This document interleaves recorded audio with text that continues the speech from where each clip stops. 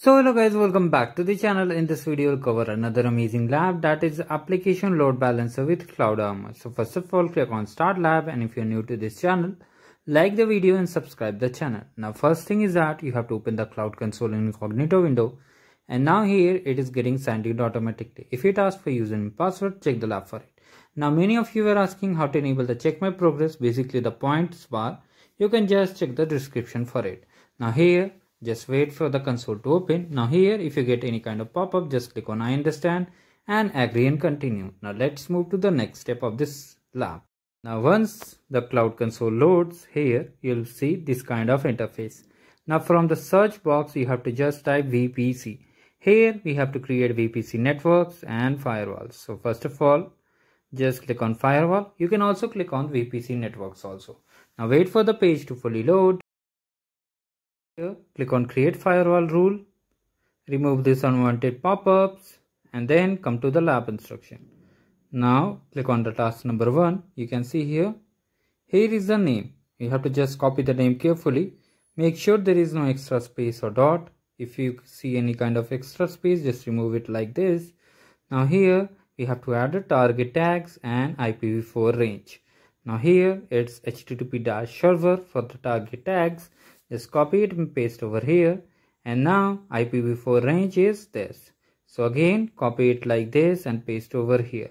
Now all these things are done. Now enable this TCP and here enter 80 okay now all things are clear. Do cross verify from the lab instruction and then click on create. Now again we have to create another health check firewall rule. So just wait for a few seconds. Now now here it is creating. Now meanwhile we can also create the firewall. No need to worry about it. Now just click on create and copy the name carefully. Again make sure there is no extra space and dot. Okay now here again we have to just add the target tags. So just paste like this and for the IPv4 ranges just copy carefully. Here two IPv4 ranges are here make sure to just once you have pasted click on the next side. Basically on any space other than this. Now this two has been added. Now you have to just click on TCP here is no mention of the port number. So you can just click on TCP and just click on create. Now wait for it to get created. It will take some time. So you can see the first firewall which we created has been successfully created and now the second one is being created. It will take few seconds. Yes you can see now it has been created. Now once all these things are done we will move forward to the lab instruction and check the score. Apart from these here we will just open another task. Basically we have to create instance template. So on the search box what you need to do you need to just type templates or instance. Okay you can see here it's showing like this. You have to click over it and if it's not showing here just open in a new tab. If it is not showing here what you need to do? You need to type completely basically instance templates. Or you can just navigate to the compute engine and just scroll down and you can see here it's here. Now we have to create and clone the template too. Now please pay attention to this important step so that you are able to complete this lab with ease. So here basically you can see. Just click on create instance template. And if the page does not load just reload the browser and try again. Now it is being loaded and it will be open soon. Now here just check the score for task number one. Now let's move to the task number two. Now here you have to copy the name carefully. Make sure there is no extra space or dot as i said earlier because this is very important. Now the location is global. You don't have to select the region you have to just select global. And if they change to region you have to always select as per the lab instruction. Now machine type will be micro and e2 generation. Basically it's in e2 and micro. Now here you have to just go to the advanced option and in networking you have to just add the network tags. Copy the tag like this and just paste over here. Now scroll down and here just select the subnet. You have to select the subnet as per the region mentioned on here now if you try to copy it directly, you won't be able to find it. So best way is that just type the region and select it like this. Now once it's done, you have to click on done and just scroll down and open the management. Here basically we have to add a startup script. So now here just copy it from here, the key and paste in the key section and similarly for this just paste in the value section make sure there is no extra space or dot i am repeating this because many of you make make mistake now click on create and it will take some time to get created then similarly we have to just clone this one and add for another just click on this checkbox okay click on these three dots and click on copy now the instance template is being copied and here basically half of the things are already mentioned now here you have to come over here and in the advanced section to just check whether the subnets are visible or not. Basically all the multiple subnets are visible. Now you can just create with paste. Now copy the name carefully. Make sure there is no extra space or dot. Just copy the name, paste over here and make sure the location is same as per the lab instruction. Now cross verify whether HTTP server is present on tags or not. Many times it is present and many times it is absent also so you have to just go to the networking section it will be like this you have to just open it and paste in case it's not mentioned over here okay i hope you understood what i wanted to say. Now we have to add the subnet network. So basically it will be as per the lab instruction regions. Copy the region like this. And from the region you have to just enter this region. Now select it carefully and then click on done. Now here just click on create. Now it will take some time, so wait for the instance template to get created. And then we'll be creating some instance group. Yes, we'll be following all the sequence. And if you're new to this channel and haven't liked the video or subscribed the channel, do subscribe it and like the video and do comment down if you need any other lab tutorial too. Apart from this, always check the skill pages sheet in the description if you want to enhance your learning too. Now let's move ahead to the next step of this lab that is creation of instance group. and see it's present in the same thing we have to create two instance group now here you'll scroll down you'll see instance groups just click over here. It will take some time to load. Just click on create instance group. You can see here just click over it. Now here for the name what you need to do you need to just copy the name carefully. And again i am repeating there should not be any extra space or dot.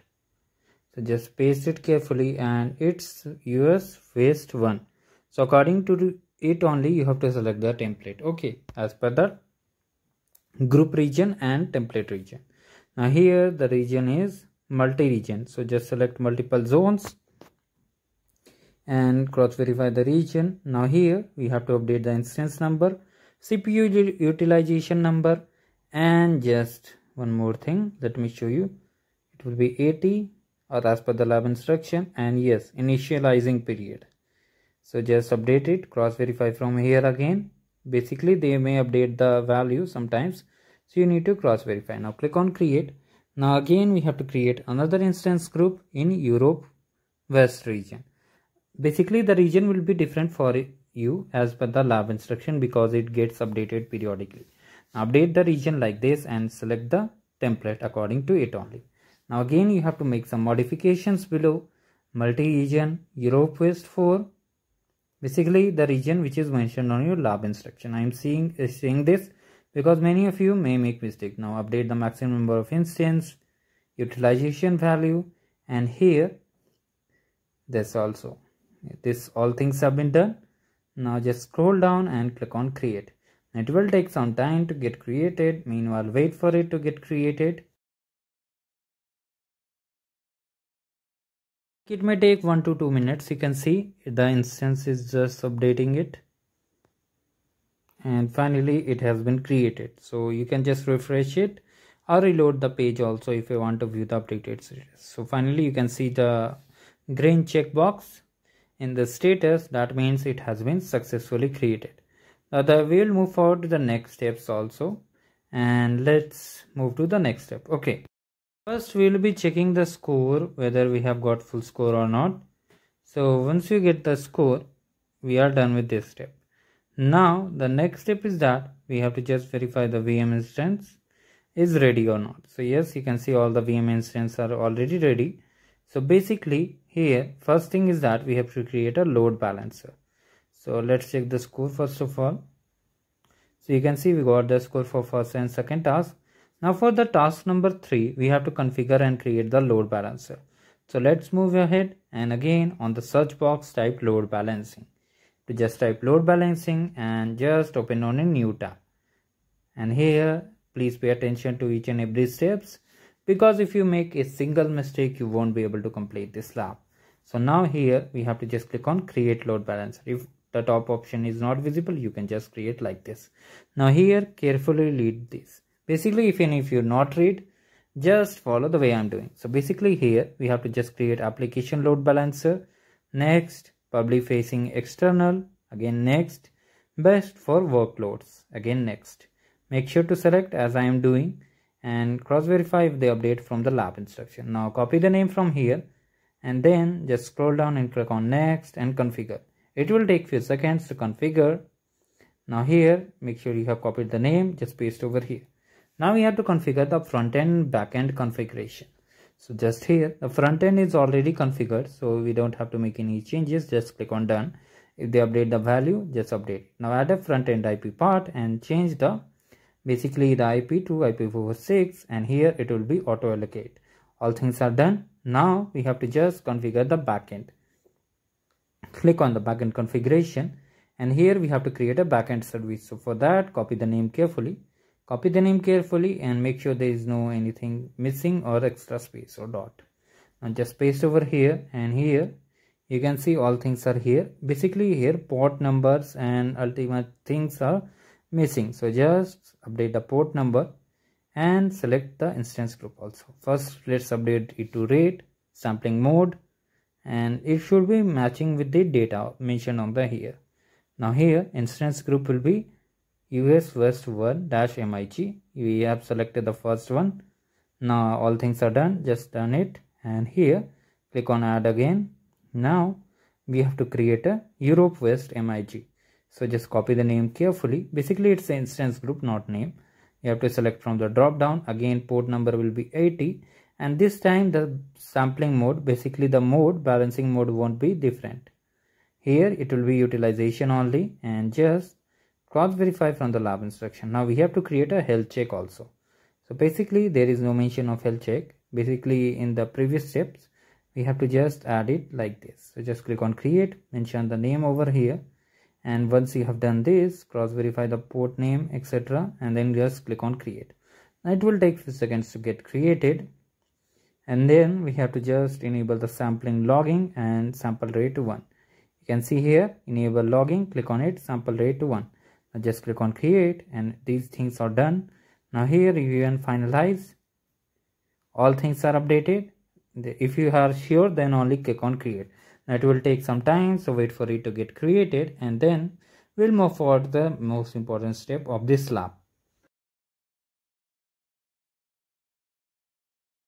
Basically it may take two to three minutes. So you need to wait for it until you see the status as checkbox then only move forward to the next step. Okay. Is what happens you get the score instantly only. Like if you come to the lab instruction and check the score you may get the score and if you're unable to get the score you need to wait for it. Now in the next step of this lab we have to just proceed to these many steps. So please pay attention. We have to create a vm instance. Okay. We have to create a vm instance. So let's do it together now from the navigation menu you have to just create the vm instance. If you haven't opened this page then just open like this okay? Now just create the vm instance. So basically the name will be vm. Just copy the name carefully and select the region as per the lab instruction and zone. Now just update it like this and cross verify the machine type. It is default e2 series. Now here all things are correct to just click on create so just click on create button and wait for the VM instance to get ready. Now meanwhile also activate the Cloud Shell by clicking on this icon. Now wait for the Cloud Shell to activate and VM to get created. Okay, just wait a second. Click on continue and just authorize yourself. By mistake if you have double clicked the instance just go back over here and if it doesn't work just open the vm instance by go navigating the vm box basically from the search box. Now let me increase the font size and just minimize it. And as you can see the VM is now ready. Now just follow like this. Just hit enter again after running the gcloud command and type y and hit enter again. Now again hit the enter button twice. And if you see like, like this output that means definitely you'll be able to complete this lab. Now just install this. And here just export the IP okay you have to export the IP so how we'll find the IP basically just come over here click on it. You can see the backends are also set. Now here we have to export the IP range. You can see here this is the IP we have to copy. Now you can use your personal notepad or anything. Just copy this IP like this make sure do not copy the last part and just replace it like this. Copy it from here and just come to the VM session basically on the cloud shell which we have activated. Now just run this command. Now it will initiate and take some time. Now after a few seconds you can just end this session. Now we have to create a deny list basically cloud armor policy. So how we have to do? We have to just open this from here. Let me show you. From the search box when you click on control c you will see this output which was mentioned there. Now from here just type armor click on this armor policies. Now just click on create policy you can see here. Just click on create policy. Now for the policy name you need to just copy from here and just paste over here now here first thing is that deny list is already open now we have to just update to allow like this. Now for the sage ip let's go to the vm instance page and just enter the external ip just do it like this. Just follow the way i'm doing and you will definitely complete this lab now here in the match section we have to just paste it. You can see here they have mentioned match section. It's already there. Now priority we have to just add thousand. Okay you can see here we have to add priority as thousand and it will be deny section. So just enter thousand like this. Now all things have been done. Now click on save changes to rule. Next step we have to add a target. So basically we have to add a backend service and click on replace. Once you have done this you have to just click on create policy. Just click on create policy it will take some time to get created and once it's done we'll move forward to the lab instruction and check the score so just wait for it to get created